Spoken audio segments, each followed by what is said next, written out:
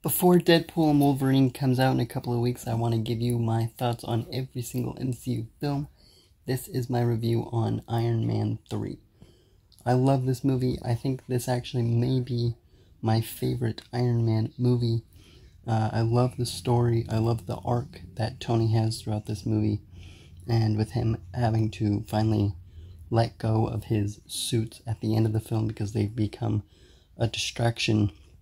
And I love the fact that they delve into Tony dealing with the PTSD in this film after the Battle of New York and the Avengers. He he's just not the same, and he can't sleep, and he's scared of losing the people that I love. I love that they go into that.